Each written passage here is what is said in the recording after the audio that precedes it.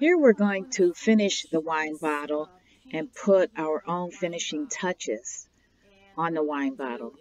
Um, but first we have to make sure we have all of what we need uh, as far as the reflections and the label and all those things done first.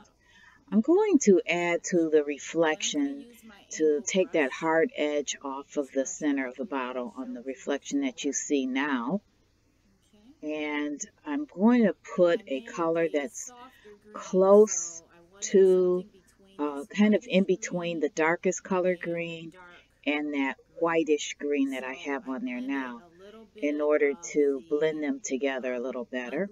So I'm going to go right down that, uh, that line that's close to the center of the bottle with this medium color green. It's a soft color and it is a combination of cad yellow, phthalo blue, unbleached titanium, and a little bit of white.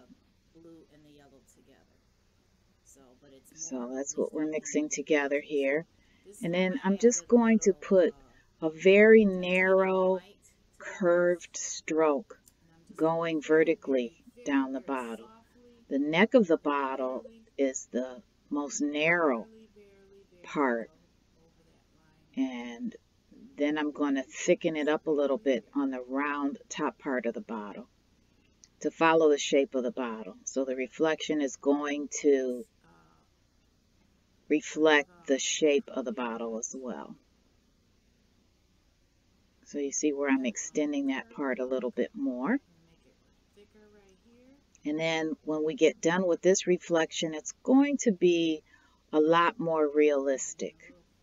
I didn't want to overwhelm you with spending too much time on the reflection before finishing the bottle. So if you're like me, you like a little bit of that instant gratification and see what it's going to look like first.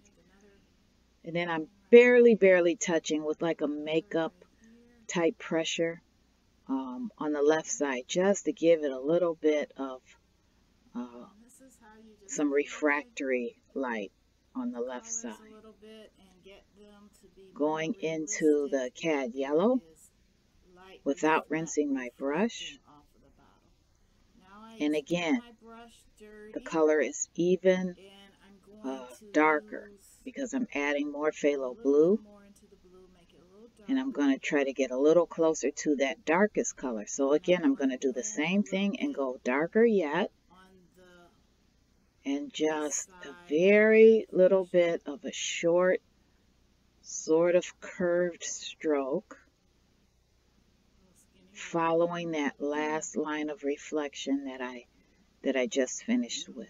So it goes from the very lightest to more of a medium green and then a darker green. So kind of blending them together a little bit. And I don't want to cover the entire bottle. I don't want to go all the way to the edge um, of the bottle and get rid of that very, very dark color. I want to keep that in there so that these just show the reflection of a light. Okay, so I'm just touching up part to bring some of that dark part back. And with blending, sometimes you have, have to do a little bit of back and forth. So I'm making sure that I'm putting that dark, darkest part of the bottle back so that I can keep it. And blending it in toward the reflection and evenly. But I don't want that straight up and down line, so that's why I'm making those little strokes. The line going down is is straight down, but it doesn't have a hard edge. It has a nice soft edge to it. Very light brush strokes, lightly like you're putting uh, uh, makeup on.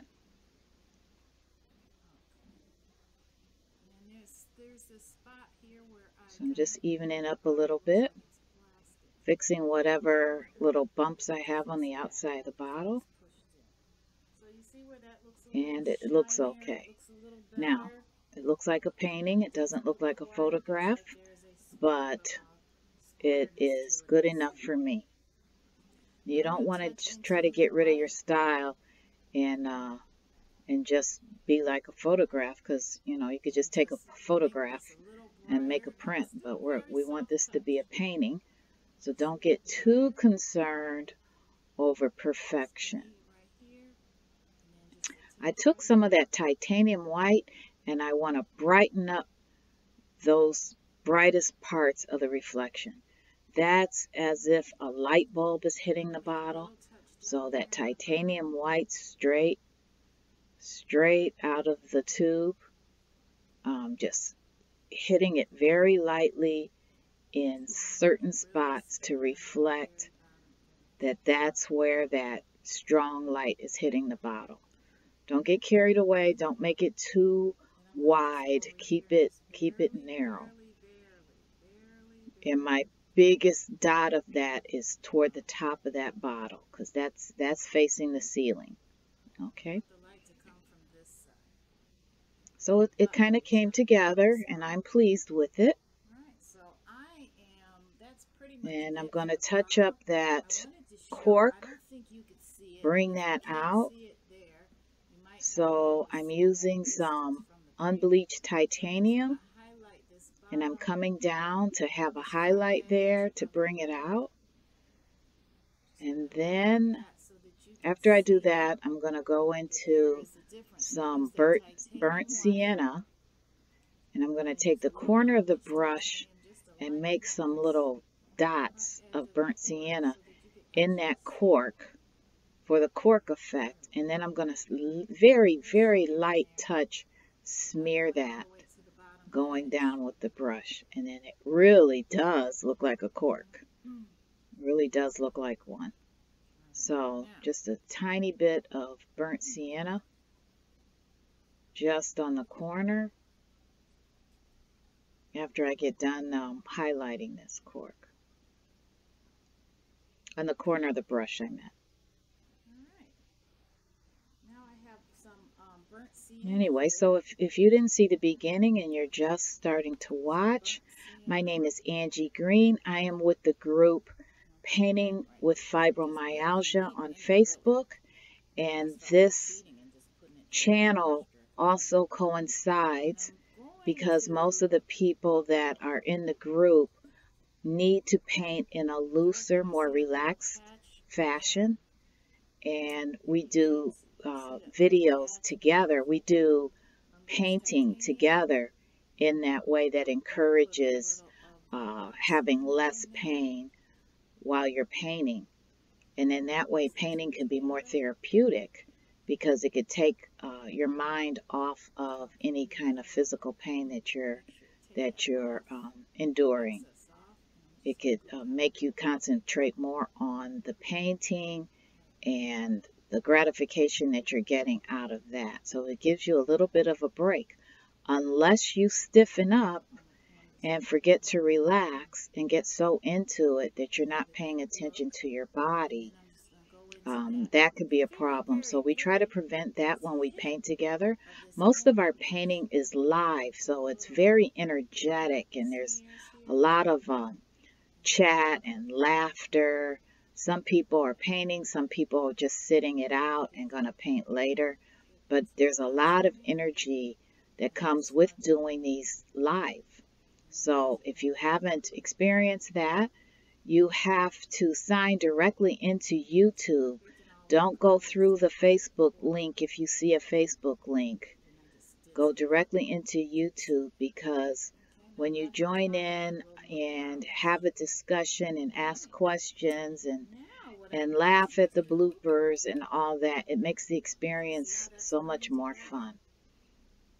So I invite you to do that. YouTube is for everyone. My channel is for everyone, not just people experiencing pain or fibromyalgia. The group on Facebook is for just those who experience chronic pain and or fibromyalgia.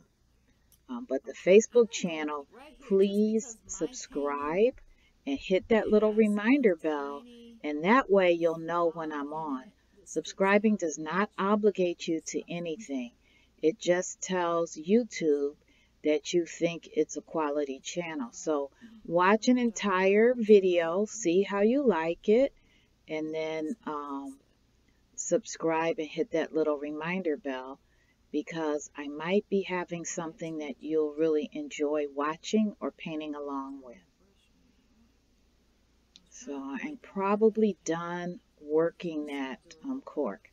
Now I have a damp paper towel and I have it uh, squeezed out, a little bit of water on it, so that if I have make a little mistake and go outside the lines, I can uh, swipe that off immediately. Uh, if you wait too long, if you wait just seconds too long, you're not going to be able to take it off and fix your mistake. But if you keep that handy, you could fix that right away. You could either use a corner of a paper towel if you're careful, or you can use a clean brush dipped in water and wiped off. Um, but that takes a few strokes to do that, and you might have to just practice doing that to, to get the hang of that. But I think a paper towel works just as good. So right now I'm showing my round brush. And my round brush is, it's a very small round brush. And I'm going to use that to put whatever design that I'm going to place on my label. But first I'm dipping into the titanium white. And I'm going to highlight the edges of the label to, to really make it look like a label. So I'm going to highlight that right now. And I'm going to use that same brush because it's more the size for detail to put the rest of the details on my label. I'm going to really personalize mine. Um, my name happens to be a color name, green. So I'm taking advantage of that and I'm going to put on my label Green Vineyard. So, and I'm going to try to get grape leaves on that bottle. I think they look like grape leaves. Uh, grape leaves can look like trees very easily. So you can personalize your your uh, wine label however you would like to. Okay, so have fun with it. You can just you know, go all out or you can keep it plain and simple. Mine's going to be on the simple side. But you can use that uh, small round brush for kind of scroll work. Uh, you can, I actually wrote with mine, so, but it's not easy. And if you know how to uh, wet it and dip into the paint and then roll it onto the palette paper, you want to roll it um, to get that brush part skinny. And if you watch carefully, you'll see me do that. And then you can use it for fine lines. But that's something else that might take a little bit of practice. So what you can do is practice your brush strokes um, on the side before actually doing it on the painting. Just to see how much pressure that you need um, for the canvas. Try to relax Try to take breaks, roll your shoulders backward and forward because this is more detailed work and this is the type of thing that um, you can get a little too tensed with and then it will affect you immediately after you're finished. so try to be try to be relaxed. You know, take a sip of whatever cold drink or coffee or whatever. Um, don't don't worry too much. And the way you can not worry too much is um, have a little water bottle there to spray your uh, palette and uh, it will have more patience with you. so you won't feel so rushed and you won't get uh, so tense. I am speaking in a way that um, beginner beginners can follow me, but many people in the group are actually already artists or professional artists. We have people of all levels that follow. We paint together not because we uh, need to, but not because we need to skill wise necessarily, but we need to paint together as an extra way of supporting each other. Our group is for painting and it's also for support for those who have chronic pain that paint. But painting together is a way of um, sharing an experience and being able to enjoy the accomplishments of following through with our painting, even though we have chronic pain. That doesn't mean if you're having a flare that you have to paint and push through. But if you're up to painting, it's a good way to paint together and not alone because you feel the support as you paint. And then if you're chatting, uh, if you have a question, you could look at the chat and we're we're um, we're helping each other out.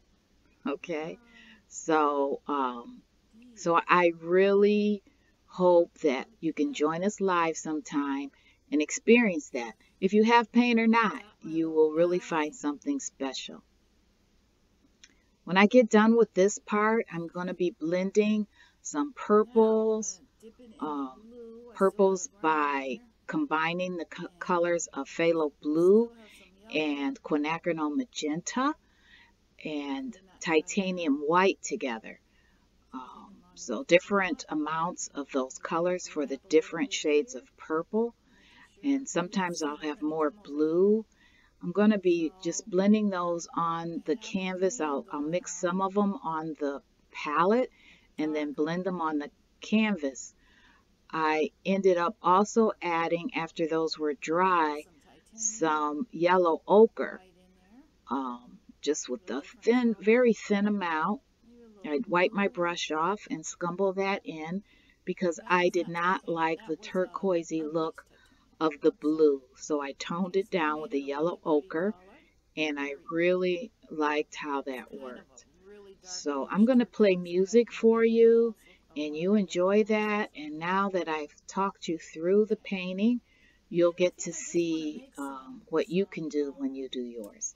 Enjoy. Which are, you have the one long one at the top and the two at the sides, and they have exaggerated curves to them. So I'm just doing that.